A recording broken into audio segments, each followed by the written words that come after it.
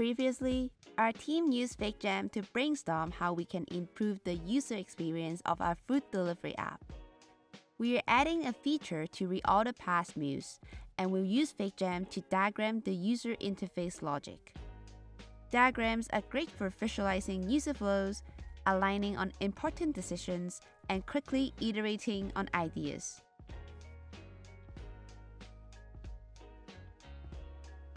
Our team's engineer invited me to a new FigJam file. Let's check it out. It looks like they've started audio conversation. Let's join the call. Hi everyone. Let's use this file to diagram how the new reorder feature will work. If you missed the brainstorming section or you need a refresher, you can visit the file I just embed on the board for reference. Next, let's insert FigJam's diagramming basic template. This template saves us time by providing the basic shapes we need to represent different points of a flow, like its starting points, decisions, and processes.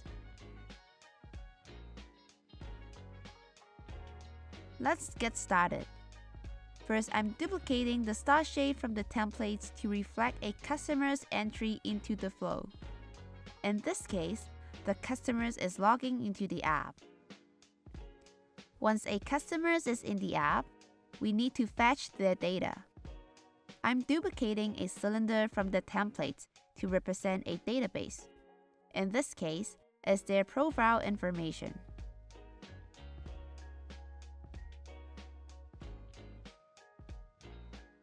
In order to show a customer their order history, the app needs to know if they've placed an order before. This will be our first decision point. So let's duplicate the gray diamond shape from the template. Our team started writing a function for this already. Want me to drop the code here? Oh, awesome!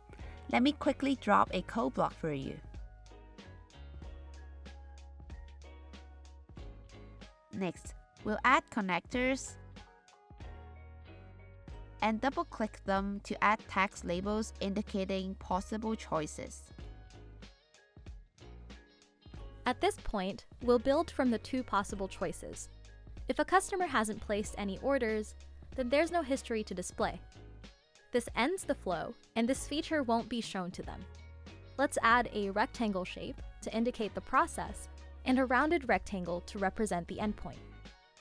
If the customers have placed at least one order, we have an order history to display. So let's add a rectangle to show that process and a cylinder to represent the database for their order history. When we're fetching the order history, we should make sure to have some skeleton loading states. I'll add a note of that so I don't forget.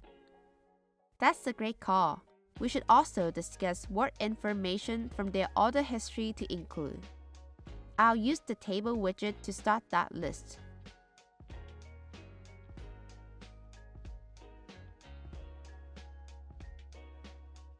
Awesome! This diagram is really starting to take shape. We are getting to a point in the flow where the app needs to decide which past orders are available to reorder at that time.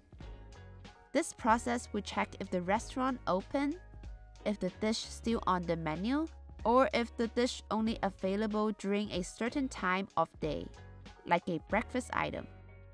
The app will perform this function as a loop until all the items from past orders have gone through this filtering process.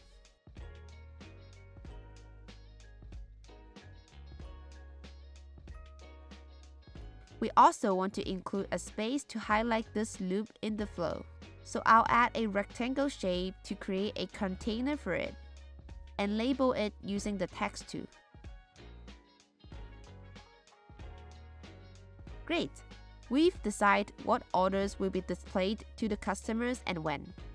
So let's add a folder shape from the toolbar to represent this list of options.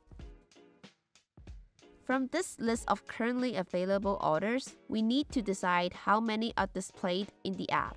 We know the history page will only be able to display 8 orders, so the rest will be hidden in an overflow list. Okay, if the list of available orders is less than 8, then we only show those.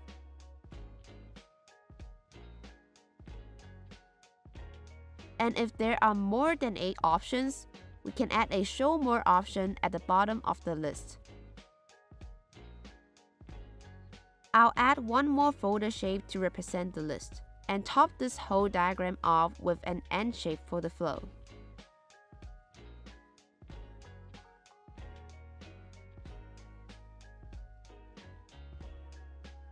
Looks like we're ready to start building this.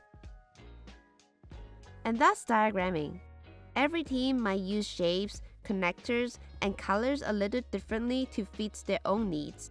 But now you know the tools you need to get started.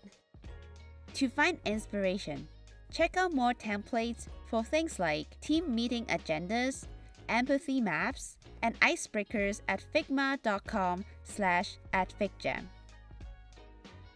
Remember you can always insert templates in a FigJam file from the toolbar.